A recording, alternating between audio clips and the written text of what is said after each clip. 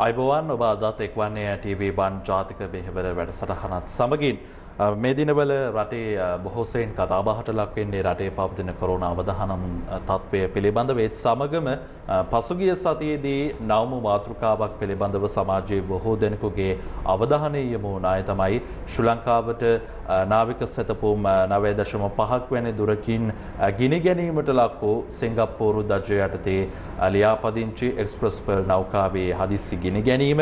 ඒත් සමගම ඒ නැබ විනාශවීම සහ ඒ විනාශය හේතුවෙන් ලංකාවේ පාරිසරික පද්ධතියට සාගර කලාපයට මුහුදු වෙරළට සිදුවන හානිය බලපෑම හා පාරිසරික විනාශය පිළිබඳව මේවන විටත් සමාජයේ කතා බහක් ඇතිව තිබෙනවා.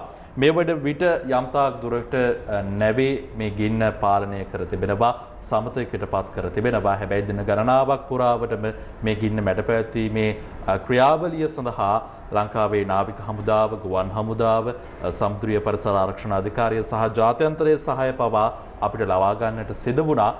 වසර දෙකක් වැනි කාලයක් තුළ මේ දෙවෙනි අවස්ථාව ශ්‍රී ලංකාවේ මේ සාගර කලාපය තුළ මේ ආකාරයෙන් නෞකාවක් ගිනි ගැනීමට ලක් වූ මිට ඉහතදී ඔබ දන්නවා නිව් ඩයමන්ඩ් නෞකාව හානියකට ලක් වුණා විනාශයකට පත් වුණා. හැබැයි මෙපමණ හානියක් ලංකාවේ සාගර කලාපයට පාරිසරික පද්ධතියට සිදුුනේ නැහැ නිව් ඩයමන්ඩ් නෞකාවෙන්. කෙසේ වෙතත් දැන් මේ විනාශයෙන් පසු මේ වන විට සිදුව තිබෙන පරිසර හානිය සහ මින් පසු කොහොමද අපි නෛතිකව ක්‍රියාමාර්ග ගත යුත්තේ අපිට අවශ්‍ය වන්දි මුදල ලබා ගන්නට. එහෙමත් නැත්නම් කොහොමද මේ නෛතික ක්‍රියාපටිපාටිය සිදු වෙන්නේ කියන කාරණය පිළිබඳව අපි කල්පනා කරාද ජාතික මෙහෙවර තුලින් අවධානය යොමු කරන්නට. ඒ සඳහා අපේ ආරාධනය පිළිගෙන මේ විෂය පිළිබඳව පුළුල් දැනුමක් තිබෙන විශේෂයෙන් සාගර නීතිය පිළිබඳව පුළුල් දැනුවත්කමක් තිබෙන පුද්ගලයෙකු අපි අද සම්බන්ධ කරගත් අපේ වැඩසටහනට. ඔහු මුහුදු හා නාවික නීතිඥ පිළිබඳ විශේෂඥවරයෙක්. නීතිඥ ආචාර්ය ඩෑන් මාලික ගුණසේකර මහතා තමයි අද අපේ ආරාධිතයා වන්නේ. අයිබෝවන් නීතිකතුමනි අයිබෝවන් නීතික්නමනක් සුප දැස්සනක් මං කැමති දැනගන්නට දැන් මේ නෞකාව ගිනිබත් වෙලා මේ වන විට දින දහයකට අධික කාලයක් මේ වනට ගෙවී ගොස් තිබෙන්නේ මේ වන විට තත්ත්වය මොන වගේද මේ මොහොතේදී ඔබතුමා දකින විදිහට කුමක්ද අපි ඉදිරියට කළ යුත්තේ කියන කාරණයෙන් මං කැමති වැඩසටහන ආරම්භ කරන්න. මම ඇත්තටම හිතන්නේ මේ වන විට ගින්න බොහෝ දුරට පාලනය කරගෙන තියෙනවා ඒක අපි ලබපු ලොකු ජයග්‍රහණයක් විදියට මම දකිනවා. මොකද විශේෂයෙන්ම මේ ගින්න පාලනය කරගන්න බැරි වුණා නම් මේ නැව දෙකට කැඩුණා නම් නැත්තම් මේ නැව ගිලුණා නම් මෙතන්දි ඇතිවෙන්න පුළුවන් මේ මේ නෞකාව තුළ භාවිතා කරනු ලබන ඉන්දන තෙල් මුහුදට මුසුවීමෙන් විශාල පරිසර දූෂණයක් මුහුදු පරිසර දූෂණයක් ඇතිවෙන්න පුළුවන්. එතකොට ඒ වගේම තමයි මේ තෙල් අපේ වෙරලට ඇවිල්ලා ඒ වෙරලේ ලොකු දූෂණයක් ඇතිවෙන්න පුළුවන්. දැ මෙහෙදි ගොඩක් කලාට සමර කට්ටිය හනවා දැන් පරිස්ස ශ්‍රාවගර පරිසරය කිව්වම මේ අදාළ වෙන්නේ මුහුද මුහුදේ ජීවීන් මුහුදේ කොරල් පර ඒ වගේ දේවල් විතරයි නේද කියලා. නෑ එහෙම නෑ. මොකද අපි සාගර පරිසරය කියලා නීතිමය විදියටත් නැත්තං විද්‍යාත්මක විදිරත් හඳුන්වන්නේ මුහුදු මුහුද සහ මුහුද ට සම්බන්ධ රිජුව හෝ වක්‍රාකාරයෙන් මුහුදට සම්බන්ධ සියලුමදේ මුහුදේ මුහුදු සාගර පරිසරය කියලා අපට හඳුන්වන්න පුළුවන්. නැ විශේෂම බලමු වෙරල. එතකොට වෙරල මත යැපෙන මිනිසුන් සිටින්න පුළුවන්. දැන් මම කියන්නේ මසුන් අලන අයට අමතරව තව ඉන්න පුළුවන් වෙරලෙන් එතන කඩවල් දාගෙන ඉන්න නැත්තං විදේශිකයන්ට යම් යම් ආකාරයට විලඳාම් කරන කට්ටිය ඉන්න පුළුවන්. ඊට අමතරව හෝටල් තියනවා ඊට අමතරව අපි හිතුවට මේ වෙරල ළඟයි කියලා අපි හිතමු නුවර පැත්තේ මනුස්සයට මේකේ බලපෑම අපි හිතමු නුවර පැත්තින වෙස් මූුණු හදන මනුස්සේ. ඒ මනුස්සයාගේ වෙස් මූුණු විකුණන්නේ මේ වෙරල ආරක්ෂතව නම් වෙරල ආශිතව නම්. එහෙමනම් එතන්දී ඒ මනුස්්‍යයාගේ ආර්ථකයටත් මේක බලපානවා. ඉති මුහුදු පරිසරය කිව්වම ඇත්තට මේ පොඩි පර පරාසයක් නෙමේ තියෙන්නේ. මුහුදු පරිසරයකොම ලොකු පරාසයක් තියෙනවා. ඉති ඒ තුළ මීට වඩා මම ඉස්සලකුව වගේ ඉන්නන පොරතෙල් ඒ වා මුසු වනා නම් මේ මුහුදු පරිසරයට අපිට බලාගන්න තිබ මීට වැඩිය ලොකු හානියක්. මේක ල- ලෝකයේ වෙලා නැති දේවල් නෙමේ. ලෝකය ඕන තරම් සිද්ධි තියෙනවා. මේ වැනි මුහුදු පාරිසරක දූෂණය ඇතිවෙච්ච ඒක බොරතෙල් වලින් වෙන්න පුළුව නැත ඉන්දන දහන තෙල් වලින් වෙන්න පුළුව ස- ඒ ආකාරයට ව්‍ය- වෙච්ච අ, ඒ වගේ අ, අ- අවස්ථාත් තියනවා. නැතුව නෙමේ. ඉතින් ඇත්තටම ලොකු දෙයක්. මේ නැව බේරාගන්න මේ තත්වයට අපිට බේරාගන්න පුළුවන් වෙච්චක දින ගණනාවක මෙහෙමකින් අනතුරුව තමයි මේ වන විට මේ ගින්න මැඩ පවත්වා තිබෙන අපිට වැඩසටහන සාකච්ඡාව අතරවාරයේදී හැකියාවක් තිබෙනවා. අ, ශ්‍රී ලංකා ගුවන් හමුදාව අප වෙත ලබා දී තිබෙන දර්ශන වෙත යොමුවන්නට අපගේ නිෂ්පාදක කණ්ඩායමට හැකියාවක් තිබෙනවා නම් අපිට ඒ දර්ශන නැරඹීමේ හැකියාව පවතිනවා. අපි ඒ අතරතුර අපගේ සාකච්ඡාව ඉදිරියට රැගෙන යාමට සූදානම්. ඔබ මේ දකින්නේ ඊයේ දිනය වන විට ශ්‍රී ලංකා ගුවන් හමුදාව විසින් අපිට ලබා දී තිබෙන දර්ශන ඊයේ පස්වරු වන විට අ, මං කැමති නිතිඥතුමනි දැනගන්නට දැන් මේ නෞකාව සහ විවිධ නෞකා පිළිබඳව සාගර කලාපය තුළ විවිධ නීති බලාත්මක වන බදැන් අපි දන්නවා ජාත්‍යන්තර මුහුදේ විවිධ නෞකා බෝර්තෙල් නෞකා ඒ වගේම බහලුම් ප්‍රවාහණය කරන නෞකා මේ ආකාරයෙන් අම්, නොයෙකුත් විවිධ නෞකා තමන්ගේ ගමනාන්ත කරා යනවා. දැන් මේ නෞකාව මේ දජ යටතේ සිංගප්පූරු දජ යටතේ මේ ලියාපදිංචි වී තිබෙන නෞකාව හා සැබැදිව කොහොමද මේ ජාත්‍යන්තර නීතිය ක්‍රියාත්මක වෙන්නේ කියන කාරණය මම දැනගන්න කැමතියි. ඕන මේෂ් ඉමේශ් මේ දැන් අ, මෙහෙමයි අ, අපි ඇත්තරම් බැලුවෝත් මේ නිවඩයිමන් සිද්ධියයි මේ එක්ස්ප්‍රස් ප සිද්ධිය අතර වෙනසත් තියෙනවා. මොකද ප්‍රධාන වෙනස තමයි නිවඩයමන් කියන නෞකාව අ, ඇවිල බොරතෙල් අ, අ, බොරතෙල් අ, ග- ඒකේ තියෙන අ, අපි කියන ටැංක ශිප් එකක් නැත්තං අ, මේ බොරතෙල් අ, ප්‍රවාහනය කරනු ලබන අ, නෞකාවක්. නමුත් මේක එහෙම නෞකාවක් නෙමෙයි. ඉතින් මේක ඇවිල්ලා කන්ටේනර් නැව කන්ටේනර් නැව තුළ විවිධාකාරයේ බාණ්ඩ ගෙනියනවා. ඉතින් මේ රසායනික ද්‍රව්‍ය හෝ අන්තරාකාරී ද්‍රව්‍ය ගෙනියන්න කිසිදු තහනමක් නෑ. මම දැක්කා අ, යම් සම්- කෙනෙක් අ, මේ මාධ්‍යකට කියලා තිබ්බා මේ මෙවැනි ද්‍රව්‍ය අපේ මුහුදේ ගෙනියන්න තහනම් කියලා එහෙම නීතියක් නෑ. ඒක තියෙන්නේ අර අ, අන්තරාදායක කසල ගෙනියන්න බෑ වේස් කියන එක. නමුත් අ, මේ මේවා එහෙම නෙමේ මේවා යම් යම් ප්‍රෝජන සඳහා අ, යම් යම් අ, අ, කර්මාන්ත සඳහා අවශ්‍ය වෙන මූල අ, ද්‍රව්‍ය. ඉතිං අ, ඕනම නැවකට එහෙම පහසුකම් තියෙනවා නම් ගෙනියන්න පුළුවන්. නමුත් පහසුකම් තියෙන්න්න ඕනේ. ඒක තමයි ප්‍රධානමදේ මේ වැනි කන්ටේන ගෙනියන්න පුළුවන්. මේ මේ කන්ටේනරට අපි කියනවා අ, ආන්තරාදායික කන්ටේනර් කියලා. නැත ඩේන්ජරස් කාගු කියලා කියන ආන්තරාදායක ද්‍රව්‍ය. ඒවා ගෙනියන්න හැම ශිප්පකටත් බෑ. හැම නෞකාවලත් බෑ. ඒ නෑ- නැවට තියෙන්න ඕනේ ඒකට ඒවා ගෙනියන්න පුළුවන් පහසුකම්. ඒවා අදිසියවත් මෙවැනි ගින්නක් පැතුරුණොත් ඒක පාලනය කිරීමේ හැකියාව තියෙන අ, අ, උපකරණ. ඒ නැවේ සවි කරලා තියෙන්න ඕනේ. ඉති මේ නැවේ විශේෂයෙන්ම එවැනි පාසුකම් තියන නැවක්. මේක අලුතෙන් නිෂ්පාදනය කරලා තියෙන්නේ චීනයේ අ, අවුරුදු තා- තාම මාස තුනයි මේ නැවට. ඉති ඇත්තටම මහිතන්නේ ඒකත් ලොකු බැ- දෙයක් වුණා. මේ නැව සම්පූර්ණයෙන් ගිනිපත් නොවීම සහ මුහදට මේ අ, යටපත් අ, අ, නොවීම මොකද තාම අලුත් නැවහින්දා තාම ඒ අර වානේ අ, හොඳ තත්ත්වය තියනවා මලකට කාල නෑ ඇති එක හින්දා ගින්නෙන් අ, සම්පූර්ණ වශයම විනාශවීම හැකියාව ගොඩක් මාඩුයි. ඉතින් ඔබ ඇහුවා දැන් මේ නැවේ මේ දජය පිළිබඳව නැත්තන් නැව සිංගප්පූරු දජය යටතේ ක්‍රියාත්මක වෙන්න කියලා මොකක්ද මේ කියලා ඇත්තටම නැවක් මුහුදල දානවනම්. ඒ නැව යම්කිසි රජ ර- ර- රටක රෙජිස්ටර් වෙන්න ඕනි නැත්ත ලියාපදිංචි වෙන්න ඕන ද අපේ ලංකාවේ ලියාපදිංචි වෙච්ච නැවුත්ති නවා. එතකොට ඒ වගේ සිංගපූර්ුවේ ලියාපදිංචි වෙච්ච නැවක් මේක. අ, ප්‍රධාන ආයතනය තියෙන්නේ මේ නැවේ සිංගපූර්ුවේ. එතවට සිංගපුරුවෙන් ලියාපදිංචි උනාම සිංගපූරුවේ දජය හිමි වෙනවා. ඒඇන අපිට අපි ලං අපි ඇවිල ලාංකික පුරවැසියෝ. අපිට ලංකාවේ අ, හැඳුනුම් පතත් තියෙනවා. අපිට ලංකායි පුරුවසි භාවිතන ඒවගේ තමයි නැවකටත්.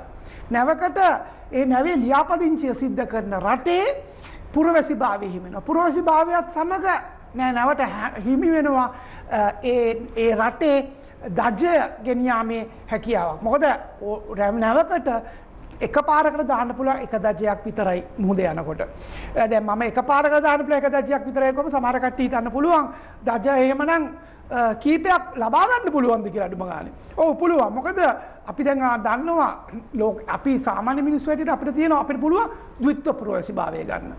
ඒ වගේම ඔන්න දවිත්වනේ ත්‍රිත්ව පුරවැසි භාවය ගන්න පුළුව. ඉති ඒවගේ තමයි නැව්වලට මේ දවිත්ව පුරවැසි භාවය ත්‍රිත්ව පුරවැසි භාවය සර්ව පුරවැසි භාවය කියනවත් ගන්න පුළුවන් හැකියාව තියෙනවා. එකැන එක රටක විතරක් නෙමේ තව රටවල් කීපයක ලියාපදිංචිවීම තව රටවල් කීපයක දජ අ, පාවිච්චි කිරීම කරන්න පුළ හැබැයි කිසිම අවස්ථාවකදී දජ දෙකක් යටතේ නැවක් යන්න බෑමුහුදේ. එක දජයක් යටතේ තම යන්න ඕනේ දජය මාරු කරන්න පුළුවන් මහමුහුදේදී විතරයි එක රටකින් තවන රටකට ඒ- ඒ- ඒකට යම් යම් අ, සිද්ධිත් බලපානවා ද අපිත උදාහරණයක් වශයෙන් දැන් අපි දන්නවා අ, උතුරු කොරියාවයි ඇමරිකාවයි අතර තියෙනවා යම් යම් අ, හිත හොද නැතිකම්. එතකොට ඇමරිකන් නැවක් පුළුවන්ද උතුරු කොරියානු මුහුදු තීරයට යන්න. එතකොට අන්න ඒ වගේ අවස්ථාවකදී ඒ ඇමරිකන් නැවට පුළුවන් ඕන ලංකාවේ දජය පාවිච්චි කරන්න මොකද උතුරු කොරියාවත් එක ලංකාවට කිසිම අර්බුදයක් නෑ. ඉතින් ඔය වගේ තත්ත්වයන් නිසා තමයි ඔය වගේ අපි කියන ඕකට ෆ්ලෑග් of කන්වීනියන්ස් කියලා. මේ දජ අ, ලබාගන්න පුළුවන් දජ මාරු කරන්න ඇති මේවා අවස්ථාවේද මේ සිංගපුරු දජය යට තියෙන්නේ එතකොට විශේෂයෙන්ම සිංගපූරුවටත් ලොකු අ, කාරබාරයක් තියෙනවා මේ සම්බන්ධයෙන්. මේ- මේ නැම සම්බන්ධය මොකද ඒගොල්ලන්ගේ දජය දෙනවයි කියන්නේ. ඒගොල්ලනුත් වගකීමක් දරනවා. මේ නැව හොඳ තත්වය තියනවා. මේ නැවෙන් කිසිදු ප්‍රශ්නයක් වෙන්නේ නෑ ඒ ඔක්කොම අපි ඒක බලලා ඒ රටේ අ, ඉශු- අ, නිකුත් කරනවා. මේ සීවතින සටිෆිකේට් කියන එක. නැත්තම් මුහුදු යෝග්‍යයි කියන සහතික ඉති ඔය වගේ සහතික ඔක්කෝම අරගෙන තමයි නැවක් යන්නේ. ඉති මේ අපි සමහර කට්ටිය මම දැක්කා මේ මේ ප්‍රෝෘතිවල එක එක මාධ්‍යවල කියනවා සමහර කාරණා මට මේකැන මේ නාවික නීතිය පිළිබඳව විශේෂඥයක් වෙන මට සමහර දේවල්ලට මට ඇතට හිනායනවා. මේ වගේ දේවල් කොහොමද කියන්න කියලා මොකද නැවක නැවක් කියන්නේ මේ අපේ මේ අපේ මේ පාරයන කාරකක් වගේ නෙමේ අපේ කාරකර තියෙන්නේ මේ ඕනනම් දුන් සහතිකය තියෙයි ඩියාපදිංචි සාතිකය තිය නැව්වලට තියෙන සහතික සීයක් විතර. ඒ සහතිකත් ඔක්කෝම එක තමයි යන්නේ. ඉතින් මේ මේ කාරණය යම් කිසි කක්හරි දෙයක් හින්ද සිද්ධ වුණා. මේක ලෝක සිද්ධච්ච පලවෙනි ඔය වගේ සිද්ධියත් නෙමේ මීට කලිනුත් සිද්ධ වෙලා තිනවා මීට පසුරත් සිද්ධවේ සාමාන්‍ය මං අහලා තියෙන හැටියට මාසකට නැව්ගිනි ගැනීම් හතර පහක් ඇතිවෙන ලෝකේ. ආචරතමනි දැන්න ඔබතුමා සඳහන් කරපු දේතින් මං කාරණා දෙකක් පිළිබඳව ප්‍රශ්න කරන්න කැමති දෙකක් තමයි ඔබතුමා කිව්වා දැන් මේ න- නෞකාබල ඒ රසායනික ද්‍රව්‍ය මේව ගෙනියන්න දෙන්නේ පහසුකම යම්කිසි ගැටලුවක් වුණොත් ඊට මුහුණ දීමේ හැකියාව මේ නැව සතුව තිබෙනවායි කියන විශ්වාසය සහ ඒ බව නිරීක්ෂණය කිරීමෙන් අනතුරුව කියන කාරණය. එතකොට අපි දන්නවා අ, දැන් මේ අ, නැව ඉන්දියාවේ සහ කටාරවල වරායන් දෙකකට බාණ්ඩ යොමු කිරීමෙන් අනතුරුව දන්වා තිබුණා මේ ඇසිට් කාන්දුවක් මේ නෞකාවේ සිදුවන බවට මේක මේ ගැටලුව මේ කාන්දුව නැති කරන්න අපිට අවශ්‍ය පහසුකම ලබා දෙන්න කියන කාරණේ. මේ නැවකට බැරිද ඔබතුමා කියපු විදිහට මේ නැවට ඇයි බැරි වුණේ මේ තියෙන ඇසිඩ් කාන්දුව වළක්ව ගන්නට ඔවුන්ට තිබෙන අවම පහසුකම්වත් උපයෝගී කරගෙන. ද මේ තත්ත්වයේදී කියන්නේ ඇත්තටම මේ නැවේ මේ කාන්දුව ඒ යම්කිසි කන්ටේනරයක තිබ්බ සැක මේ- මේ සකසුරුවම් නැත්තං අපි හිතමු සකස් කරපු ඒ රසායනික ද්‍රව්‍ය වල පැකින් වල ප්‍රශ්නයක් නැත්තං ඒ සකස් කරපු ඇසුරුම්. කරණයේ ප්‍රශ්නයක් නිසා යම්කිසි කාන්දුවක් සිද්ධ වනා කියන එක තමයි දැනට කියන්නේ.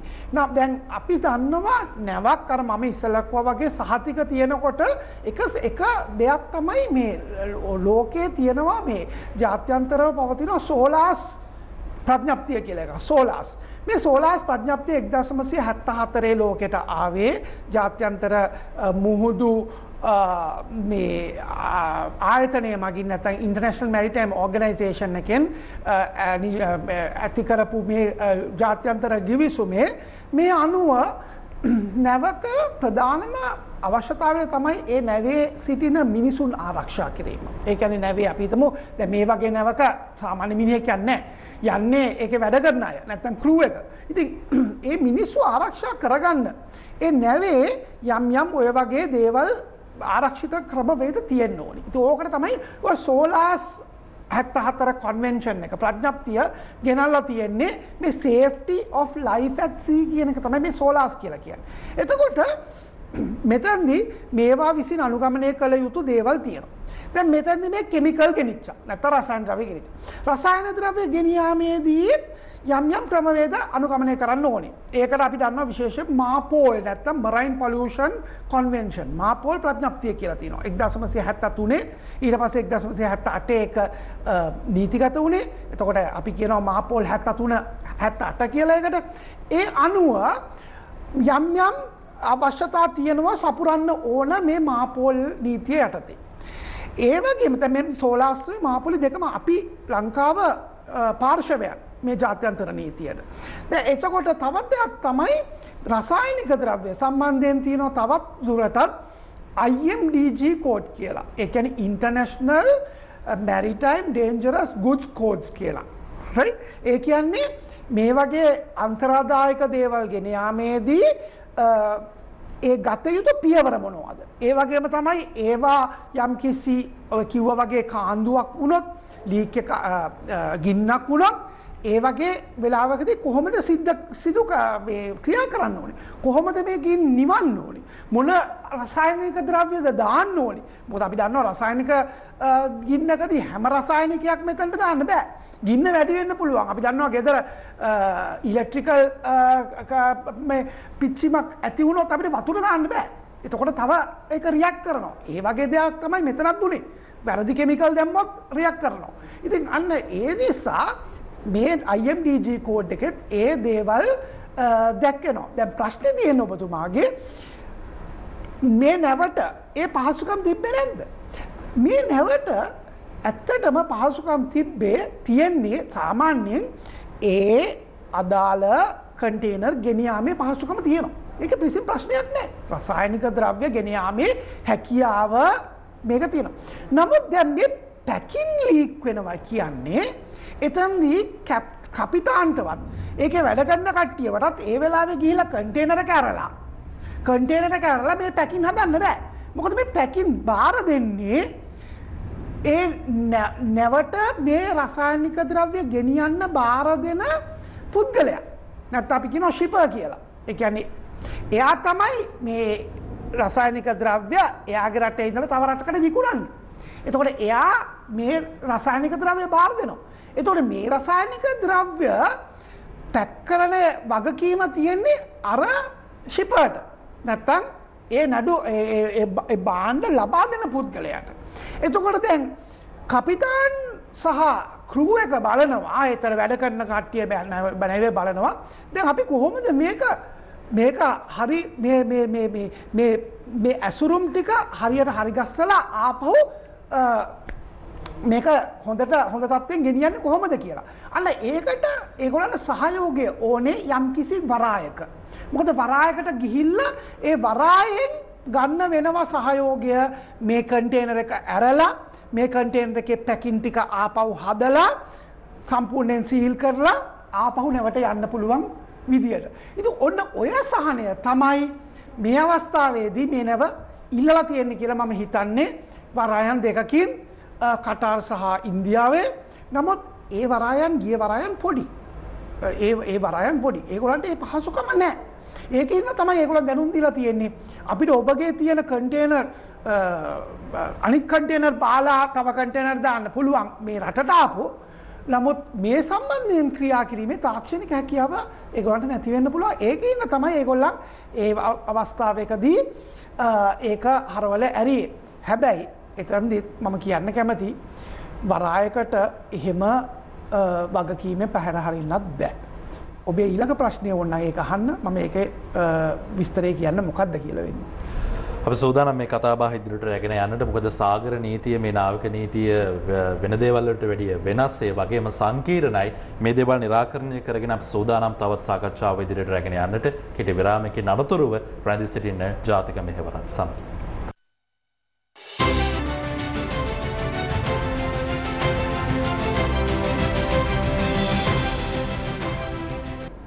විරාමෙන් අනතුරුව නැවතත් එක්වන්නේ ජාතික මෙහෙවර වැඩසටහනත් සමගින් අපේ මාතෘකාවාදය ඔබ දන්නවා. ගිනි ගැනීමෙන් විනාශයට පත් වූ එක්ස්ප්‍රස් පර්ල් නෞකාවේ මේ වන විට වාතාවරණය සහ ඒ නෞකාවට අදාළව කොහොමද සාගර සහ නාවික නීතිය ක්‍රාම්තික වෙන්නේ කියන කාරණය පිළිබඳවයි අද ජාතික මෙහෙවර තුළින් අපි කතා බහ කරන්න. අපේ ආරාධිතයා නීතිඥ ආචාර්ය ඩෑන් මාර්ග ගුණසේකර මහත්මයා. නීතිඥතුමනි දැන් විරාමයට පෙර ආතුව අපි සඳහන් කරා මේ වරායන් දෙහකින් මේ නැවට තිබෙන මේ කාන්දුව උන්ට පහසුකම නෑ මේ වලක්වන්න කියන කාරණේ. ඒ අතරවාරය ඔබ සඳහන් කරා එම වරායකට මේ වගකීමෙන් ඉවත්වීමේ හැකියාවකුත් නැහැ කියන කාරණේ. එතකොට දැන් අපි ලංකාව පැත්තට ආවොත් ශ්‍රී ලංකාවේ කොළඹ බරායට මේ අවධානමට මේ ආපදාවට මුහුණ දීමේ හැකියාවක් තිබෙනවාද? මේ ආකාරයේ රසායනික ද්‍රව්‍යයක් කාන්දු වීමකට මුහුණ දීමේ හැකියාවක් තිබෙනවාද? අනෙක් කාරණය තමයි දැන් මේ මොහොතේදී මේ පාර්ශවයන් කියන දේවල් වල අනුව අපිට තේරෙන කාරණය තමයි මේ නැව නියමිත අවස්ථාවේදී කියන්නේ ඇංක කරන්න කලින් අපිට කියලා නෑ මේ වගේ කාන්දුවක් තිබෙනවා කියන කාරණයත් මේ වෙද්දී අදාළ පාර්ශවයන්ගේ නැගෙන චෝදනාවක්. මේ පිළිබඳව මේ කාරණා දෙක පිළිබඳව ඔබතුමාගේ අදහස මොකක්ද? දැන් ඇත්තටම ඉමේෂ් මේ අපේ ලංකාවේ කොළඹ වරාය කියන්නේ ප්‍රධාන වරායක්. මේ අපේ ඉන්දියන් සාගරයේ තියෙන ප්‍රධාන වරායක්. අපි හැමදාම කැමතිනේ මේ අපේ ලංකාව මේ මැරිටයිම් හබ් එකක් කියලා හඳුන්වන්න. මැරිටයිම් හබ් එකක් නම් අපේ ලංකාවට හැමදේම තියෙන්න ඕනේ නැව් සහ සාගරය සම්බන්ධ සුවිශේෂ දේවල් තියෙන්න ඕනේ ඒ දේවල් පහසුකම් සපයන්. පහසුකම් අපේ කොළඹ වරාය පහසුකම් සපයන්නෙකු වශයෙන් සියලු දේ තියෙන්න ඕනේ. නැත්තම් ඉතින් අපි මේ මැරිටයිම් හබ් කියන කතාව අයින් කරලා දාන්න ඕනේ. අපි මැරිටයිම් හබ් එකක් නෙමෙයි. එහෙම කරන්න බැරි නා. දැන් සිංගප්පූරුව කියන්නේ මැරිටයිම් හබ් එකක්. නමුත් ලංකාව තාම මැරිටයිම් හබ් කියන තත්ත්වයට ඇවිල්ලා නැහැ. නමුත් ලංකාව ප්‍රධාන වරායක්. කොළඹ ප්‍රධාන වරායක්. කොළඹට තාක්ෂණික දැනුම හොඳටම තියෙනවා. ඔය සම්බන්ධයෙන් වැඩ කරන්න. දැන් මේ වගේ තත්ත්වයක් මේක මේ ලොකු ප්‍රශ්නයක් නෙමේ මේ ලීක් එකක් තියෙනවා කියන එක. ඒක හදන්න පුළුවන් තාක්ෂණික අපිට හැකියාව තියෙනවා. මෙතන ප්‍රශ්නය වුණේ මේක ගිනිගත්ත එක. මේක ගිනිගත්තේ නැත්තං සමල්ලාට අපි මේ කතාවෙත් නෑ අද වෙතන. මේ පැකින්න එකත් ඔක්කොම හදාගෙන ලීක එකත් නැති කරගෙන නැවත් ගිහිල්ලා නෞකා ගැන කතාවන්න ඇතිවෙන්නත් තිබ්බ. ඕ ඉති ඒක මෙතන ප්‍රශ්නය වුණේ මෙතන යම්කිස්සි දෙයකින් මේ ගින්න ඇති වෙලා ඔන්න දැන් ඇතිවෙච්ච තත්ත්වය. ඉතින් දැන් අර ඔබ කිව්ව වගේ මම ඉස්සල සඳහන් කරා වගේ ද වරායන් දෙකකින් මේක ප්‍රතික්ෂේප වනානම් කටාර්වල හමාඩ් වරායත් ඉන්දියාවේ තවත් සියන ගුජරත් ප්‍රාන්තය වරායකුත් දැන් එහෙම වනානම්. මම අහන්න කැමති මේ අපේ ලංකාවේ ඉන්නවා මේ රජයේ ආයතනය ඉන්නවා මේ පෝට් ස්ටේට් කන්ට්‍රෝල නැත්තං අපි කියනවා නාවක කටයුතු පිළිබඳව විශේෂයෙන්ම මේ වරායන් ආශ්‍රිතව ඒ වගේ කන්ට්‍රෝල් ඇති කරන්න පුළුවන් පෝට් ස්ටේට් කන්ට්‍රෝල කියලා අපි හඳුන්වනවා. පෝට් ස්ටේට් කන්ට්‍රෝල කියලා. ඒ කියන්නේ අපේ වෙළඳ නාවක කාර්යාංශය යටතේ තමයි එගොල්ලන් ඉන්නේ. දැන් මේ පෝට් ස්ටේට් කන්ට්‍රෝල් එක වගකීම තමයි මේ අපේ ලංකාව ගත්තොත් අපේ ලංකාවේ වරායන් වලට පැමිණෙන නැව් සම්බන්ධයෙන් කටයුතු කරලා ඒවා සුරක්ෂිතව එනවද ඒවා සුරක්ෂිතව යනවද කියන කාරණය සම්බන්ධයෙන් යෙදන එක.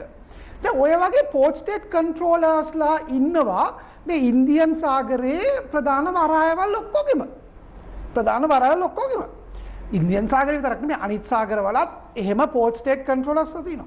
දැන් මේකේ විශේෂත්වය තමයි මේ පෝට් ස්ටේට් කන්ට්‍රෝල් ඒ යාන්ත්‍රණය තුල තියෙනවා Indian ocean MOU Indian Indian සාගර අවබෝධතා ගිවිසුම මේ පෝට් ස්ටේට් කන්ට්‍රෝල් සම්බන්ධයෙන් අවබෝධතා ගිවිසුම. දැන් මේ ගිවිසුමේ පාර්ශවයක් අපි ලංකාව. ඉන්දියාවත් පාර්ශවයක්. එතකොට මේ ඒ ඉන්දියන් සාගරයට බෝඩ වෙලා තියෙන නැත්තම් අයිම් වෙලා තියෙන සියලුම රටවල් ඒ ඉන්දියන් සාගරය අවබෝධතා ගිවිසුමේ පාර්ශවකරුවන්. එතකොට ඒ ගිවිසුමේ තියෙනවා විශේෂයෙන්ම සඳහන් කරලා අර මම කිව ජාත්‍යන්තර ප්‍රඥප්ති කීපයක්. ඒ ජාත්‍යන්තර ප්‍රඥප්ති වල ප්‍රධාන වශයෙන් තියෙන ප්‍රඥප්තිම අර ඉස්සල මම සඳහන් කරපු සෝලාස් ප්‍රඥප්තිය මාපෝල් ප්‍රඥප්තිය ඒ වගේම බංකර් ප්‍රඥප්තිය ඊට අමතරව තවත් ප්‍රඥප්ති කීපයක් මෙතන තියෙන. දැන් මේකේ තියෙන විශේෂත්වය තමයි මේ අවබෝධතා ගිවිසුමේ කියනවා යම්කිසි වරායක නැවක් නැවක් ඇවිල්ලා ඒ නැවට දෙන්න පුළුවන් උදව්ව දෙන්න බැරිවුනම් යම්කිසි වරායකට එහෙමනම් ඒ නැව යන ඊළඟ වරායට ඒක දැනුම් දෙන්න ඕනේ ඊළඟ වරායෙන් ඒ සම්බන්ධයෙන් ක්‍රියාත්මක වෙන්න ඕනේ කියලා දේවල් තියෙනවා. ඉතින් මම අහන්නේ දැන් මේ මම දන්න තරමින් මම ලංකා නැව් සංස්ථාවේ විද්‍යාගාධ්‍යක්ෂ වෙලා හිටියා. එතකොට මේ පෝට් එකටත් සම්බන්ධ වෙලා වැඩ කරා. ඉතින් මම අහන්නේ අපිට මෙච්චර මේ දේවල් සම්බන්ධයෙන් ඉන්ෆෝමේෂන් ලැබුණ නැද්ද? මේ සම්බන්ධයෙන් අපිට කරුණු කාරණා වාර්තා ඕනේ නැද්ද?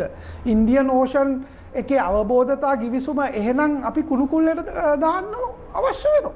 මොකද අපිට ඇත්තටම එහෙම දෙයක් කියලා නැත්තම්. right?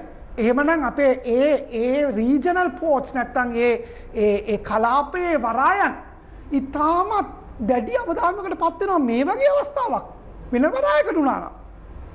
ඒ වගේ අවස්ථාවක් වෙනවා අපි හිතමු මේ මේ නැව හදිස්සියක් කොළඹ වරායට ඇතුළු වුණා නම් අපි අද බේරුට් වගේ තත්ත්වයකට පත් වෙන්න තිබ්බා. ලොකු පිපිරීමක් ඇති වෙලා තිබ්බා.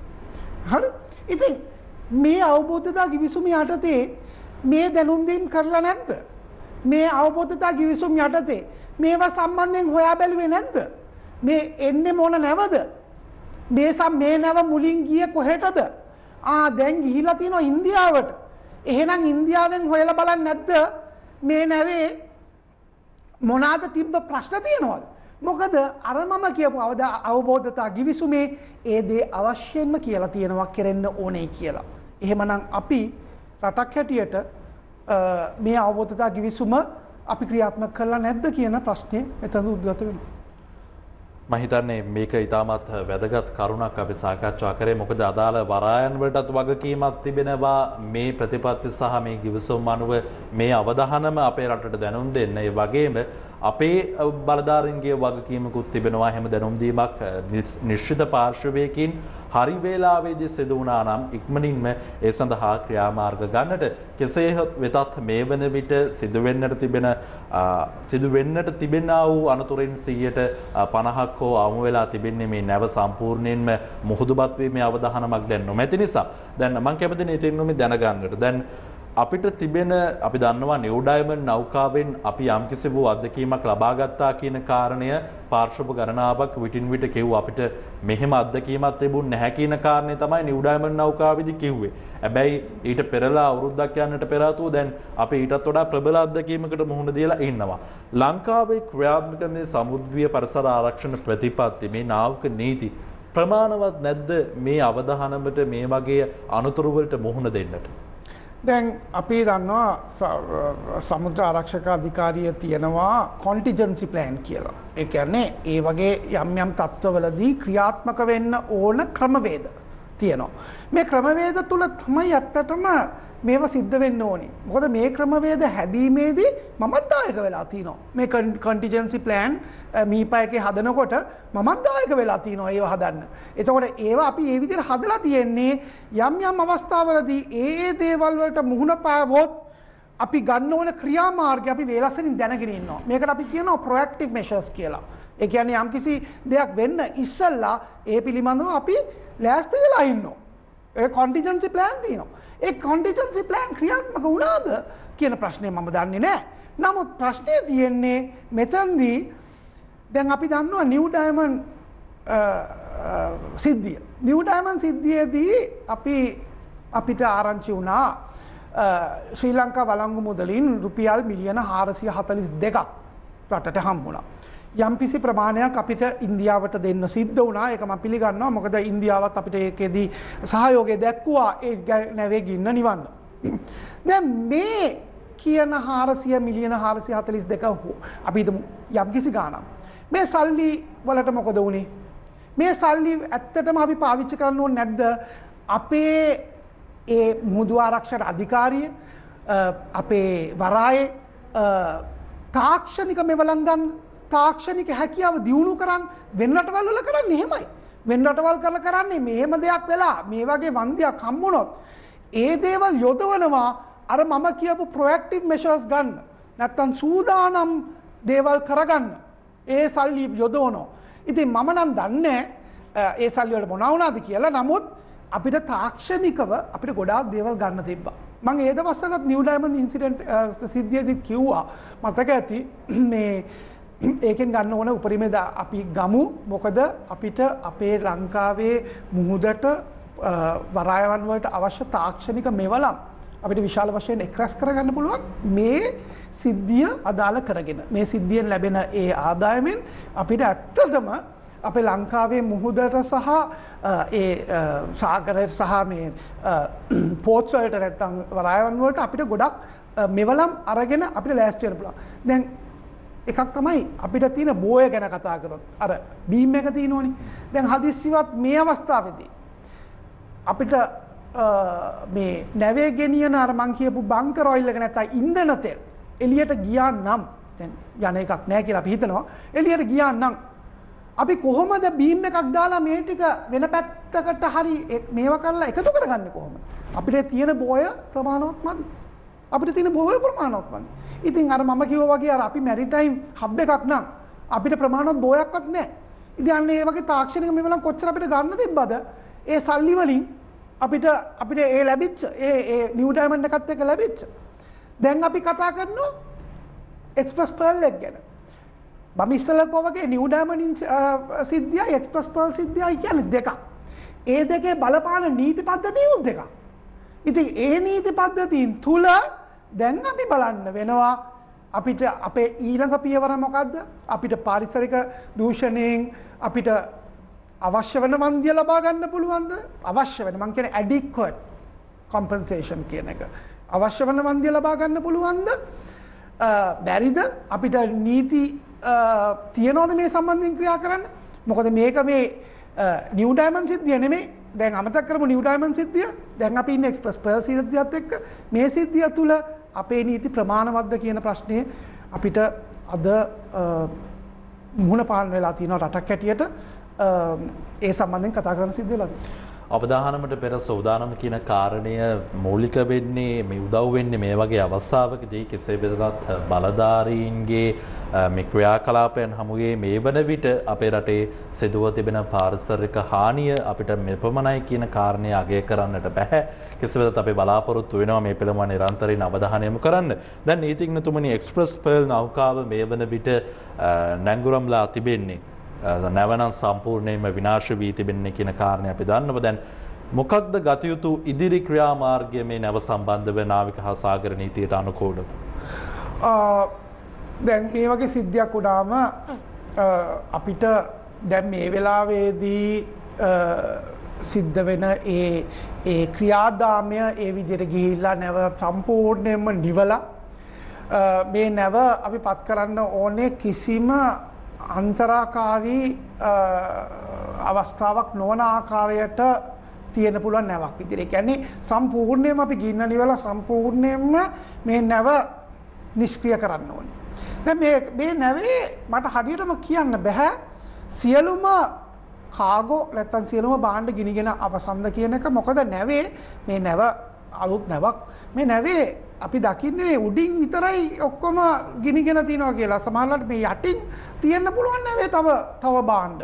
තව කන්ටේනර් බාණ්ඩ තියෙන්න පුළුවන් නැවේ. අපි කියනවා අන්ඩර් ඩෙක් කියලා. ඒ නැවේ තවත් කන්ටේනර් බාණ්ඩ ඉතිරි වෙලා තියෙන්නත් පුළුවන්. ඉතින් මොනවා වුණත් බංකර් තියෙන ඉතින් ඒවත් යට තමයි බංකර් තියෙන්නේ. මොකද මේ මේ ඉන්ධන ටැංකි. ඉතින් මේවා වල අපි කරන්න ඕනේ පුළුවන් තරම් මේ දැන් ගින්න නිවලා ඊට පස්සේ දැන් කතාවක් අහනවා කට්ටිය මේ මේ නැව අපි මහ මුහුදට ගිහිල්ලා අතහැරලා දාන්න ඕනේ කියලා. දැන් ඔහොම දාන්නත් මේ ජාත්‍යන්තර නාවික නීතිය බෑ. එහෙම කරන්න. නැව යම් කිසි ප්‍රමාණයකට අපි සැල්වේජ් කරන්න ඕනේ. දැන් ඒකට තමයි මේ ඇවිල්ලා ඉන්නේ නැවේ සැල්වේජ් සමාගම. ස්මිත් කියන සමාගම ඇවිලා තිනවා ගිය පාර නිව් ඩයමන්ඩ් සිද්ධිය තිටිය ස්මිත් සමාගම මේ පාරින් නෙත් ස්මිත් සමාගම ඒගොල්ලෝ ඇවිලා තිනවා නැව මේ ගොඩ ගැනීමේ කාර්ය සඳහා ඒ දේවල් කරන්න. ඒගොල්ලෝ ඒ ටික කරයි ඊට පස්සේ අපිට දැන්ට තියෙන්නේ මේ නිව නැව සම්පූර්ණයෙන් කියලා මේක ට යන්න පුළුවන් තත්ත්වයක් ඇතික ඊට පස්සේ ඒගොල්ලන් ඒ එතනින් එහාට ඒ පියවර ටික ගනි. ඊට පස්සේ අපි ලංකාවට සිද්ධ වෙන්නේ මොකද? ලංකා රජයක් හැටියට අපිට සිද්ධ වෙන්නේ දැන් ඊළඟට අර ඔබ කිව්වා වගේ මේ නීති මාර්ගය මොකද්ද? නීති ක්‍රියා මාර්ගය මොනවද කියලා දැන් බලන්න. දැන් නීති ක්‍රියාමාර්ගය කියලා බැලුවම අපිට මේකේ තියෙනවා දෙකක් ඒ කියන්නේ විශේෂයෙන්ම අපරාධ නීතිය යටතේ නඩු දැමීමේ හැකියාව තියෙනවා සිවිල් නීතිය යටතේ නඩු දැමීමේ හැකියාව තියෙනවා. ඉතින් අපරාධ නීතිය යටතේ නඩු දානකොට අපි දැක්කා නිව් ඩයමන්ඩ් සිද්ධියේදී කපිතාන් විරුද්ධ වන අපරාධ නීතිය යටතේ නඩු දාලා මිලියන 12ක වන්දියක් ගත්තා. රුපියල් මිලියන 12ක වන්දියක් ගත්තා.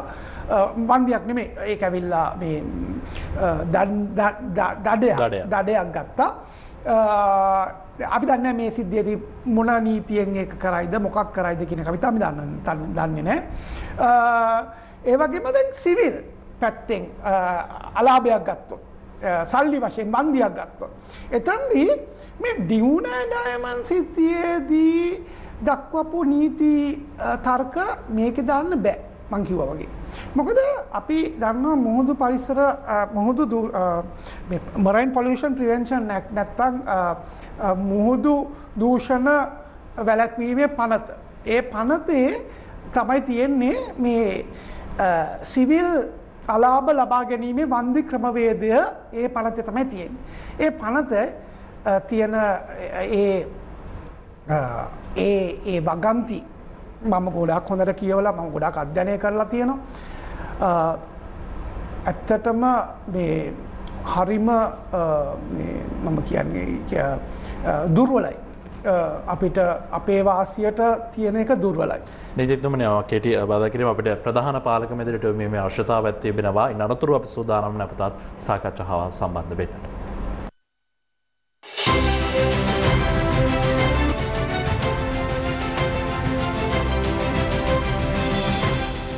විරාමෙන් අනතුර ඔබ නැවතත් ජාතික මෙහෙවරත් සමගින් අපි විරාමයට පෙරාතුව සඳහන් කරේ මේ නීතියේ ක්‍රියාත්මක වීම සහ එහි බලාත්මක භාවය කියන කාරණය පිළිබඳව මම කැමති නවත්වපු තැනින් ආරම්භය ලබා දෙන්නට ඒත් සමගින් මම කැමති තවදත් එකතු කරන්නට මේ නැවේ අපි විසින් ලබා දෙන වන්දිය කියන්නේ නැව් සමාගම විසින් අපිට සිදුව තිබෙන හානියට ලබා දෙන වන්දිය අඩු අඩු කරීමේ හැකියාවක් තියෙනවද අපි මේ ගින්න මැඩ පැවැත්වියේ වීමේ උනන්දුව අවමයි කියන කාරණය හේතු කොටගෙන මම කැමති ඒ කාරණයත් ඔකට සම්බන්ධ කරන්න.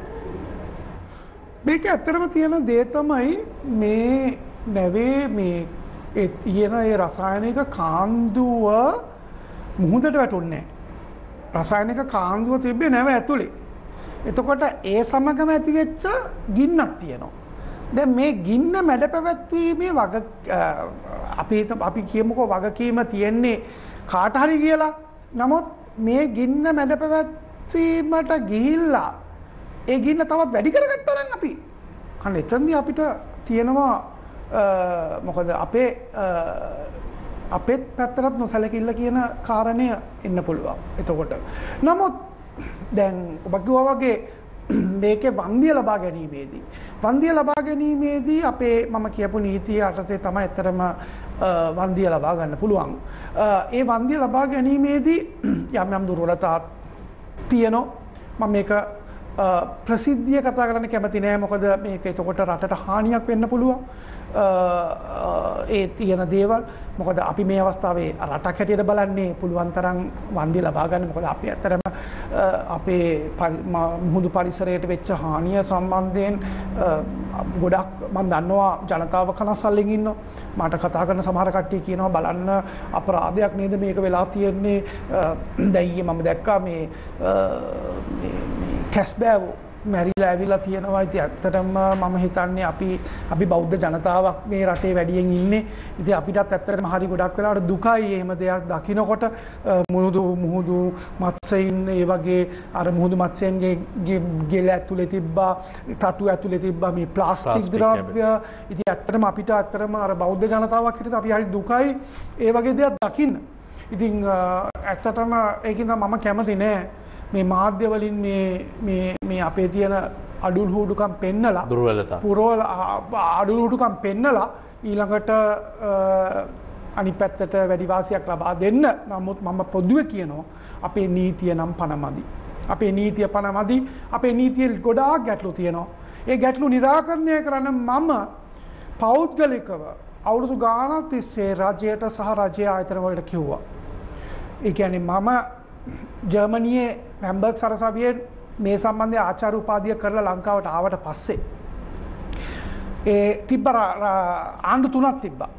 ඒ ආණ්ඩු තුනටම මම කිව්වා මම විශේෂය මම මීපයකටත් යම් යම් උපදේශ දීලා තියෙනවා මම උපදේශකයෙක් හැටියට මීපයකේ වැඩ කරලා තියෙනවා මම නැව් ලංක නැව් සංස්ථා විදායක අධ්‍යක්ෂ වශයෙන් වැඩ කරලා තියෙනවා. පෝට් එකට කොළඹ පරායට සම්බන්ධව වැඩ කරලා තියෙනවා.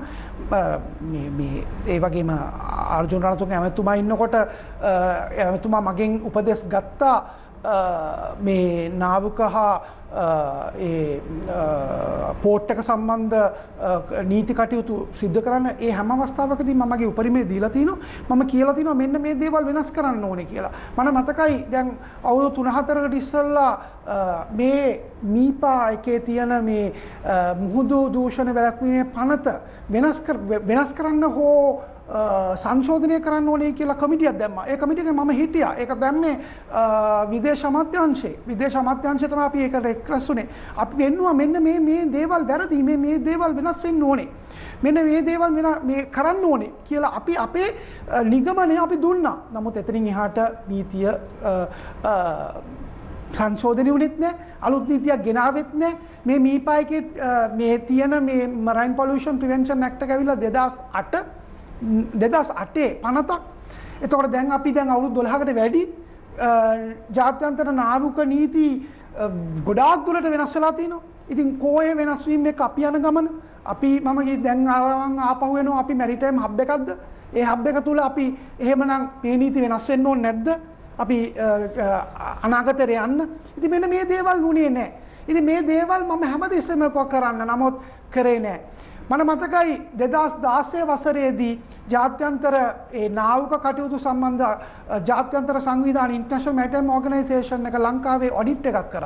අපේ නීති නීති නෙමේ අපේ සම්පූර්ණයෙන්ම අපේ වරාය සහ නාවක කටයුතු සම්බන්ධව තියෙන හැම දෙයක් ගැනම විගණනයක් කර. ඒ විගණන වාර්තාවේ කියනවා අපේ ලංකාවේ නීති මේ නාවක නීති ගොඩක් ජාත්‍යන්තර නීතිත් එක්ක බැලුවම ගොඩක් පස්සෙන් ඉන්නේ. නිතිතුමට දැන් මේ මේ තියෙන නීතියත් එක් අපේ රටේ දැන් ඔබතුමා කියන කාරණය අනුව යම් කිසි වූ බලාත්මකතාවේ අඩුවගයක් තියෙනවා ක්‍රියාත්මක කරන නීති. මේ නීති හමුවේ අපේ වැඩසටහනේ අවසන් මිනිත්තු කිහිපය අපි ගත කරන හින්දා මම කැමතියි අහන්න දැන් මේ නෞකාවට එරෙහිව අපි නීතිමය ක්‍රියාමාර්ග ගැනීමේදී වන්දි ඉල්ලීමේදී අපිට අපි බලාපොරොත්තු වෙන වන්දියක් කරා මොකද සිදුව තිබෙන හානිය අපිට තවමත් අගය කරන්නට බැහැ විශේෂයෙන් පාරිසරික හානිය.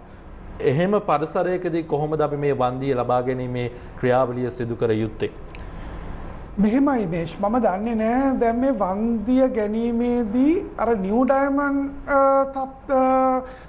සිදුවීමේදී කරා වගේ අධිකරණයට යන් නැතුව අධිකරණයෙන් පිටිං වන්දිය ලබා ගැනීමට යයිද කියන එක අපිට දන්නේ නෑ. දෙපාර්ශවයක් අතර බේරුම් කරන බේරුම් කරණයක් වශයෙන් තමයි ගිය පාර නිවඩයිමන් සින්දියේදී ලී ලංකාට රුපියල් මිලියන හාරසි හතරිස් දෙකක් ලැබුණේ. එතැනිත් මමකෝ එක ගොඩාක්ම මදි. ඔයිට වැඩි අපිට ගන්න තිබ්බා. නමුත් එතැන්දිත් අපේ හරි නීති උපදෙස් ගත්තේ නෑ. ඇයි ඇයි එහෙම බේරුම් කරණයකට දෙපාර්ශවය අතර යමුවෙන්නේ කියන කාරණයගෙන අපි මෙහෙමයි. ඒකට විශේෂ පාදක වෙන්න පුළුවන් විශේෂ මේ ඉක්ම නවශ්‍යතාවය කියන එක. එකැනි දැන් අපිට මේවා හදන්න අපේ ගාව සමාල දැන්නම් මේ වගේ පරිසර දූෂණය සිද්ධ වනාම ඒස්කටත් අපි මුදල් යට කරන්න ඕනේ රටක් ඇටියට අපට සමහලට මුදල් අපි දන්නවා විදේශ විනිමයත් අපිට ලංකාවට දැන් ගොඩක් අඩුයි. ඉතින් ඒ වගේ තත්ත්වයක් තුළ අපිට සමහරවිට මුදල් නැති වෙන්නත් පුළුවන්. ඒ දේවල් කරන්න. ඉතින් ඒකින්ද අපිට ඉක්මන් මුදල් හදිසි අවශ්‍යතාවයක් තියෙනවා. ඉතින් එතෙන්දී අපිට පුළුවන් වුණොත් ඉක්මනට අරගෙන කරගන්න ඒ මුදල් හදිසි අවශ්‍යතාවය නිසා එහෙම වෙන්න පුළුවන්. අනිත් එක තමයි සමහරවිට දැන් ඔය මම කිව්වා වගේ නීතිමය ගැටලු නීති විශාරදයන් දැන් අපේ නීතිපති දෙපාර්තමේන්තුව ඒ වගේ දැක්කම සමහරවිට ඒගොල්ලන් කියන්නේ ඒගොල්ලන්ට හිතෙන්න පුළුවන් මේ නීතියට ගියොත් අපි අධිකරණයට ගියොත් අපිට අවාසී වෙන තැන් වැඩි කියලා ඉතින් එතෙන්දී නීතිමය ප්‍රශ්න නීතිමය ගැටලු හින්දාත් ඒ වගේ බේරුම් කරන එකට යයිද නැද්ද කියලා මම දන්නේ නැහැ. නමුත් උසාවියකට ගියොත් අධිකරණයට ගියොත් අන්න එතනදී අපිට අපේ අපේ පේ අපි ඔප්පු කරන්න ඕනේ දේවල්. අපි ඔප්පු කරලා ලබා ගන්න පුළුවන් උපරිමය අපිට ලබා ගන්න පුළුවන් හැකියාව තියෙනවා. ඉතින් ඒක හින්දා මම හිතනවා මේ වෙලාවේ අපිට දැම්මම කියන්න බැහැ මොකද්ද ප්‍රදානය කරන්න ඕන වන්දිය මොකද්ද අපිට නියමාකාරයෙන් ලැබිය යුතු වන්දිය කියලා මොකද හේතුව ඇවිලා තාම මේ පරිසර දූෂණය සම්බන්ධ සියලු ගණනය කිරීම් සිද්ධ කල්ලා ඉවර නෑ. තින් ඒකට මම දන්නේ කොච්චර කාලයක් යයිද කියලා මොකද ඒකට අපි විශේෂඥ විද්‍යාත්මක විශේෂඥයෝ අරගන්න ඕනි.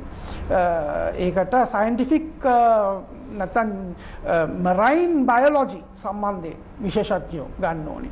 ඒකට දැන් අපිත මුහුදේ මාළුවෙක් මැරුණ කියලා. ඒ මාළුවා මේ මුහුදේ හිටපු අවසාන මාළුවක් දන්නෙත් නෑ. ඒ වර්ගේ. හරි? එතකොට ඒ කියන්නේ එහෙමනම් එතන වෙන පරිසර දූෂණය සහ ලාභය තාමත් වැඩි. ඉතින් ඒකින්ද ඔවට තියෙනුනේ විද්‍යාත්මකව මරයින් බයලෝජිස්ලා ගෙනල්ල මේක අධ්‍යනය කරන්න ඕන. ඉති ඔය වගේ කලේම්ස් එනකොට නැත්තං ඒ වගේ අපි හිතමූ දැන් වන්ද ඉල්ලනකොට අපි ඉතාමත් ප්‍රමාණාත්මකව ගිහිල්ලා එහෙම වන්ද ඉල්ලන්න අපි දැන්වෙනකොට දන්නේ නෑ ඇත්තටම කොච්චරද මේ වන්දිය කියන මොකද ගණනය කිරීම අත්‍යවශ්‍යයි ගණනය කිරීම හොඳටම ගණනය කරලා ඕනේ කියන්න කොහොමද කියලා රටක් හැටියට එහෙම කරනවා.